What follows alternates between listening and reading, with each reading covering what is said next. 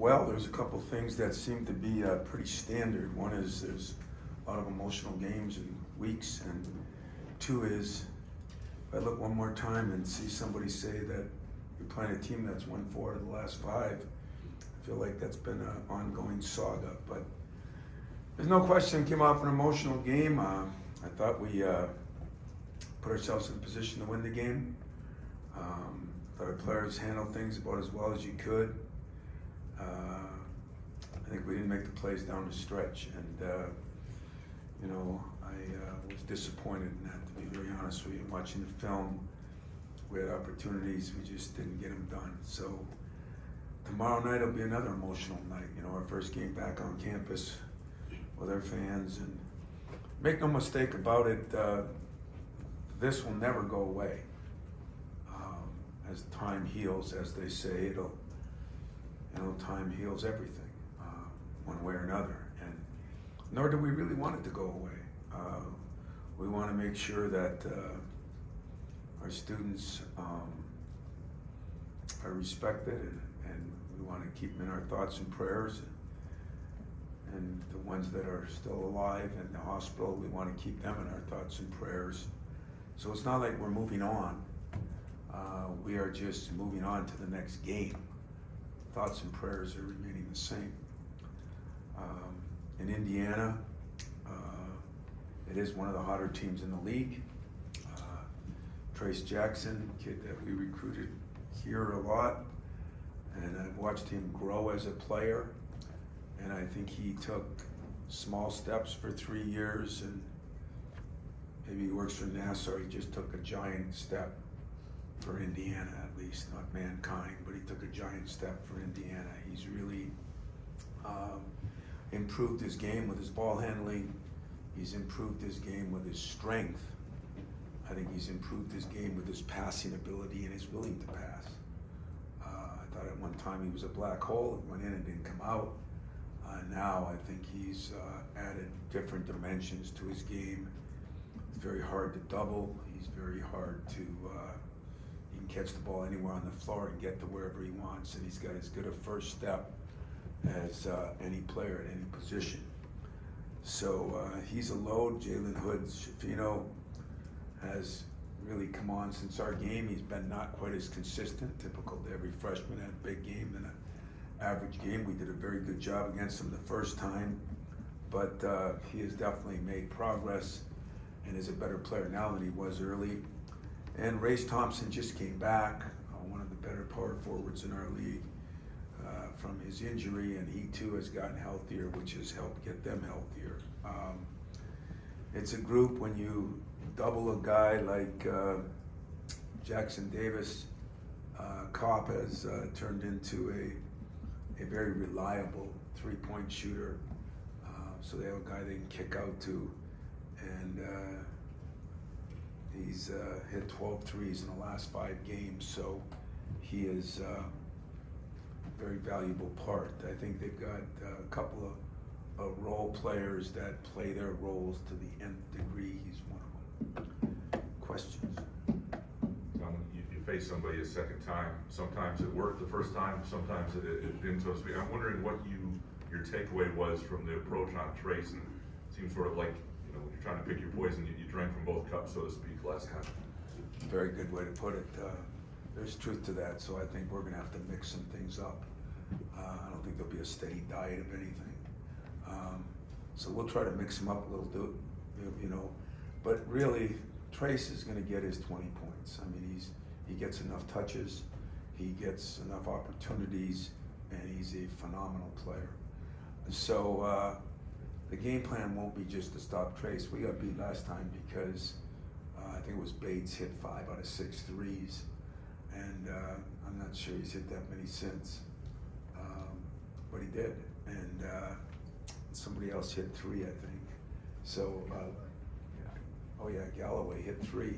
So two surprise guys hit eight threes, and uh, and that's the problem, as you say. You know, when you people want you to double and you're giving up threes, people guarded threes, then you're giving up 30 points by the post guy. It's uh, it's a uniqueness in this league this year where we've got that problem with more than a few guys. You know, Michigan the other night, uh, McDaniel's did a pretty good job. You know, although he got seven or nine of those in the beginning of the game, but it's usually the other people that you got to worry about. The the great ones are probably going to get what they get, um, and uh, I have no regrets on what we did at Michigan because I think we did. You know, it wasn't kickouts that got us; it was some other things.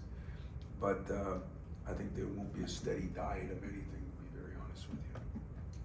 Now, as you kind of move forward on this season, you talk about how, you know, the tragedy is not going away, but also you talk about returning to normalcy, and I'm wondering how you kind of balance those two things. Yeah, I, I, I said that was going to be the hardest thing for me is figuring out how to balance um, normalcy and and uh, and tragedy. And um, you know, I'm not sure we'll ever do a great job of it. There's, not enough time in the year left. You know, this isn't going away today, tomorrow. Unfortunately, for some families, it's not. It's not going away in a lifetime. And uh, I hope we do enough here that it doesn't go away in a lifetime either. But uh, as I said, unfortunately, the world moves on, and you have to learn how to do that. That's part of the process of being a young man or woman into, you know, getting older. And uh, so, you know, what we've tried to do with our players is yesterday we had a walkthrough and a film session, and and still talked about it because I think it'll be another emotional night tomorrow night, just being back home. And uh, you know, who knows how everybody responds, but uh, we've got to be able to do the things basketball-wise to take care of the business we've got to take care of, and and then be there support-wise for players or people that deal with it in different ways. And uh, I'm not sure I have a great balancing act for that. I'm I'm uh, I'm learning on the run myself. You know, uh, I will have a a book for somebody now that goes through this later on in life, but um, I'm still working my way through it myself. Um, the, the rebounding issue, obviously, that we saw the other night, how, the matchup certainly hurt with the two bigs, especially when you had Joey Malik in there. How much of that do you think is, is kind of a, just a circumstance of how that went with the, the two bigs? Or, or is there a concern right now at all? I know there's been a few games here and there where the offensive rebounding wasn't great Yeah, for their team. you know, yeah, the rebounds in concern this year. You know, Marty has not rebounded the ball as well because some of the size in there. You know, it's it's it's one of those cases where I'm disappointed in one thing. We need to put more weight on Monty. You know, and uh, so he gets banged around in there. Uh, but uh, I think the more and more we get Malik at the three and and have a, maybe a bigger forward to go along with Joey and I, I think you're going to see Jaxon playing a little more maybe in, in Carson and uh, and maybe even playing Carson and Jaxon together or Carson and so you know now this team isn't as big. Um, that was uh, that was probably the biggest lineup in college basketball in that situation with the two bigs maybe Arizona I think. So uh, you know we blame it on us. We weren't maybe ready for it.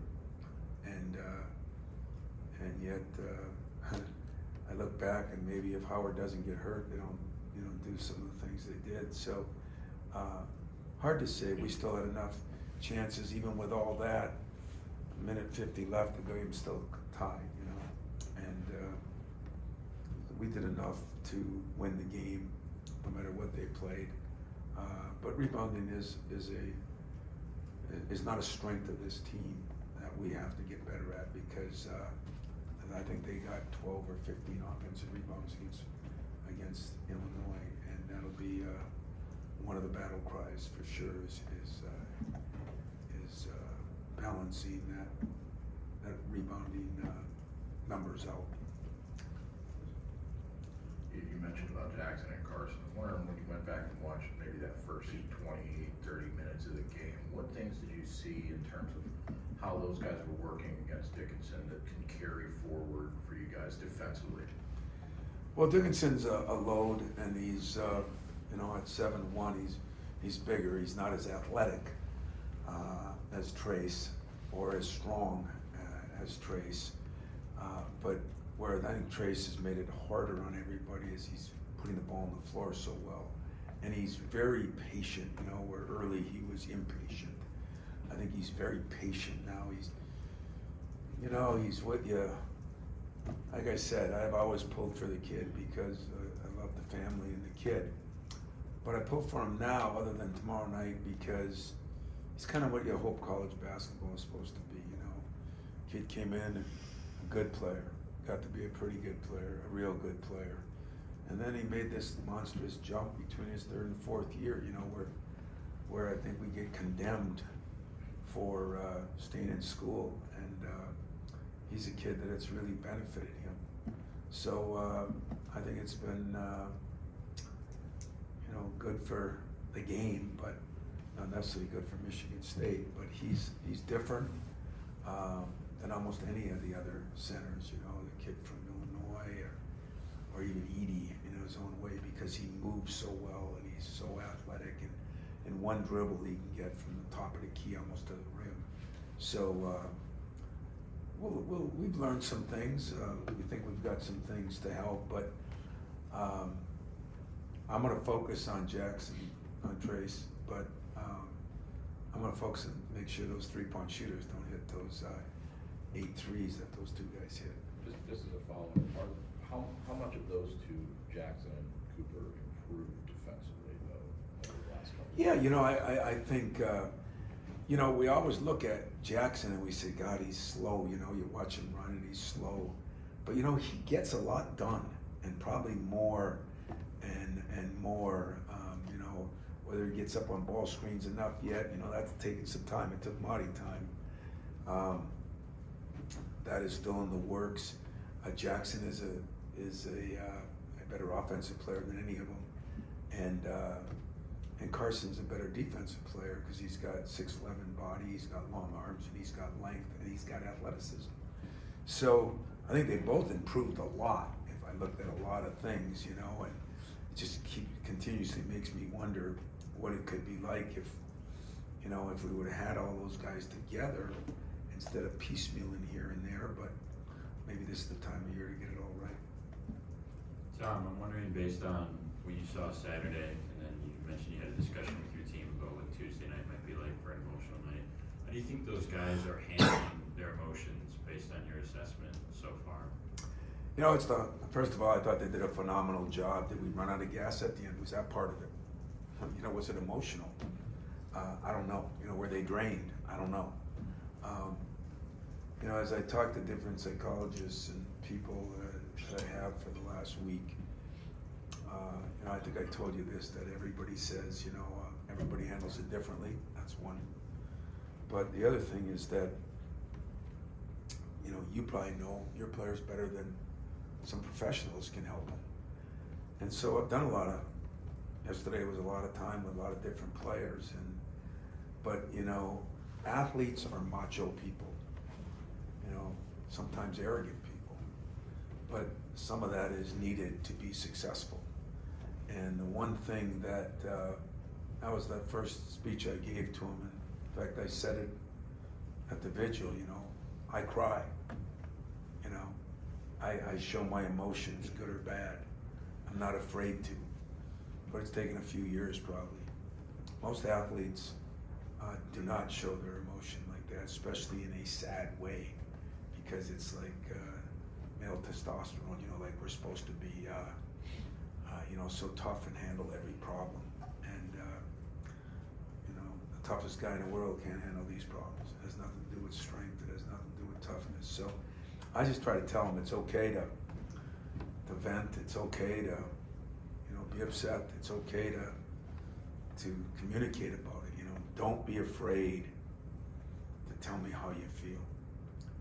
But that's all a lot to do in a couple of days, you know, and adjust to that when they've been kind of the other way for most of their lives.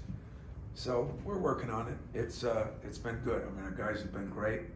Our people around here have been great. Um, you know, everybody's done their job the best they can do it. Some of it is time heals, and uh, that too is different for every individual. And I have to be there to support that and yet push.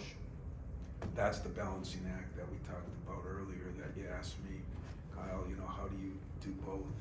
Um, if I had that answer, I'd write a good book, but I'm working on it. There's no question what they did on Saturday was very touching at the Crisler Center. So I'm just kind of curious what you guys have planned for tomorrow night in terms of maybe what you might be doing pregame, or if you could let us in on what you, what you guys are gonna do. Well, I would let you in if I knew. Um, you know, the one great thing about our people here, and I think it was the same down there, Jawandon. Um, you know, there, I'm sure there'll be some things that go on, but they know that I got enough on my plate, and so I have not been involved in the pregame or the, the game situation on that. I'm sure I'll get uh, told it as it all comes together, but uh, I wouldn't hide it from you. I, I, I really wouldn't. Need be, I'll try to find out. Uh, that's, uh, you know, I just, I just hope that. Uh, the kids that we lost, the kids that we still have, the kids that have been through it. Um, hope we honor them all and respect, you know, what each and every one of them, how they feel. And uh, but I, I've said it, and I'll say it a million times. Said it that night of the vigil. Being alone is not the answer. Some people could think it's the answer. To me, it's never the answer. Uh, that's why, you know, teammates on a team have to help each other. Uh, we're all teammates now of a campus and a community, and we have to help each other. And I think the more time we spend around each other, the better. Not being away. I know there's going to be protests and things uh, I'm vehemently against because I think uh, we need each other to uh, to comfort each other to help each other through tough times. So hopefully it'll be um, respectfully great. When you when you write that book, the last seven days of your old chapter, one.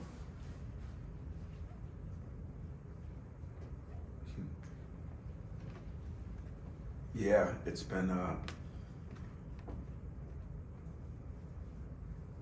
it's been a roller coaster to say the least because in that time you got the Michigan, Michigan State, you know, you you want to call Knute Rockne himself and come up with the greatest speech known to mankind and, and then you got the dad in you that uh, that you think of it from a parent standpoint and all the parents and and that's what I told you that the night before that game, like I've done a couple other times here in the past, I figured out what I was gonna say. I tried to, whether we win or whether we lose. Because a win would have been great for Michigan State. Make no difference the parents in that hospital trying to fight for those kids' lives and the ones that were lost at the funerals that day. And a loss is in the same boat. So, yeah, it's been a um, figuring out how to balance that, figuring out how to handle that. Uh, has been something that I can't say I'm I'm going to be better for in the future because I hope it never happens again in the future, but uh, I was very unprepared for it, the present, and uh, and I think with the help of a lot of people, we did the best we could do. And I want to reiterate something that I said that night. Um, the situation uh, wasn't the reason we lost the game. Lost the game because we didn't do the things we needed to do. And uh, I don't want sympathy for anything because sympathy should go to the people. I don't want to be taken off the hook for anything because we played well enough to win that game and didn't do it. But uh, yeah, the last seven days will be a hell of a chapter in anybody's book. Uh, my book would be small compared to the parents that lost their kids ones that are fighting for them. It would be very small, but. Uh, it will forever. I told my son the day of the game. we were warming up at one o'clock. We were just kind of going through our shoot around that day. And I said, This will be a day you'll never forget. Dramatic, truthful, pick and choose my opinion. It'll be a, a day I'll never forget. And there's been a few in my lifetime that, as they say, for me, know where I was when John F. Kennedy died. Know where I was in 9 11. Know where I was when I got the news of what happened here. Know where I was the night of that game. Um, there'll be a, probably a dozen in your life that you'll never forget. I just made sure he knew he should remember this day and uh, and try to do everything he could do in his power to make sure one of those days never happens again. Yeah. Another topic I'm not sure how much you're dialed in with right now, but it's still a reality, is the, the Minnesota game that got lost. I know there's a lot of things up in the air in terms of when, if, all that, game. Do you have any clarity yet at this point? I don't. when or if? Uh, as of right now, I don't. Uh, the best clarity I have is that they are trying their hardest to work it out, and the schools have been great. Uh, ben Johnson's been unbelievable. Um, I think Rutgers is involved. Uh, but the best I've heard so far is that last week we'll play Tuesday, which I think is a nine o'clock game. Come to think of it, Thursday, Saturday, and uh, that's when we got to play. That's when we'll play. Uh, It's not, that's not etched in stone, no, it's not even a, I mean, it's, it's the best I've been given. You mentioned something the other night about that sort of smaller lineup that you went to and hoping they could make Michigan pay on the other end and being unable to do so. And I'm wondering, I mean, obviously that's a group of James injuries and leaks that you haven't been able to fully explore throughout the season. I'm wondering how much hope you still have for that group as a group that can offensively create problems for other people down the stretch. Well, I still think that's very possible, but in that game, you know, Marty got in foul trouble too. I mean, we didn't do it, if I said it that way, we didn't do it to try to exploit it on the other end because we were scoring enough. We did it out of necessity, to be very blunt, honest with you. And uh, at least we wanted the most experienced players on the floor. And, you know, things got to still happen. I mean, Kobe's got to hit a shot that he fumbled and, and hit it. And uh, the ball's got to bounce to the right place to get the rebound. You know, I mean, there's a lot of things that got to happen. But I do think that with most teams, um, that lineup could be still utilized, as you said. Uh, you know, up until the last week and a half, Malik wasn't practicing all the time, so we have not spent a lot of time on it. Those are all things that we're still trying to find our team. You know, with uh, two weeks left, and that's okay. You know, I think some teams last year found their team with one game left, and it worked out for them. So uh, I got still got a lot of faith in this team. I think I have a lot of faith in my staff. Um, what I don't have a lot of faith in is where the country is right now as far as teams. You know, you look at the Big Ten. Um, there are so many teams that are eight and seven. Or it's, it's just amazing. You watched last night's game with. Uh, you know, Sam Hoiberg plays 32 minutes in the game and an unbelievable job. You know, it's it keeps proving its point. Talent doesn't always win. Where's that play? And I, I, I enjoyed. All I could think of was his mom and his grandparents because when we played there and I started, their other son, um, how proud they must have been that night. So it's it's a crazy league, but you might see some of that lineup uh, certain games for sure, and uh, but we do got to practice it a little bit more. Focus was One more under, focus was understandably tough the other night for all the right reasons. Mhm. Not that tomorrow won't be emotional, because you got the first home game. And I hate to even ask about focus, you got students that are going to their first classes today. But will it be easier in a basketball sense to focus in this game than perhaps in that game, or, or not? Yeah, you know, I mean, you're pinching pennies on that one. It's, uh, you know, I mean, that is our rivalry game, but this is our next most important game, and um, I said time will heal you, not two days. You know, it's going to take more time than that, and uh, hard to say how our students will react to everything. You know, it's students have been so good. You know, at the the way they stayed in place and and did the things they were supposed to do that night. Um, that doesn't always happen on college campuses. And yesterday, there was an incredible amount of people on this campus.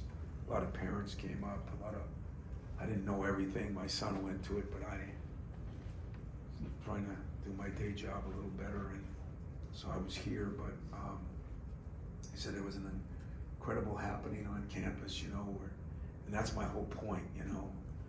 Uh, I hear about people wanting to be away. I understand why. Um, I beg and plead that people get back to normal as fast as they can, and the ones that need help, let's help them, and the ones that um, are ready to get back, let's make you guys helpful to the rest of the people because there's nothing like the people next to you. Nothing. I've believed that my whole life. You know, it's united we stand, as they say. And uh, I, I think tomorrow night, I don't know. I don't know my own players will, will handle it. You know, but. Uh, I'm sad that I have to be a part of that for the reasons of what happened. I'm honored to be a part of that, to help bring some normalcy to these kids that have been through so much in the last three or four years, and so, so much in the last week. So, that's going to be the way I'm going to approach the game. And uh, I guess I'll see y'all there. Thanks.